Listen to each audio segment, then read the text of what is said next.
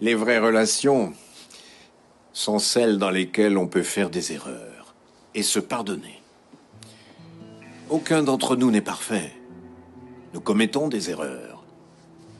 Tu vois, nous sommes pleins de contradictions. Et l'amour, c'est aimer tous les bons côtés et aussi les mauvais qui se trouvent en chacun d'entre nous.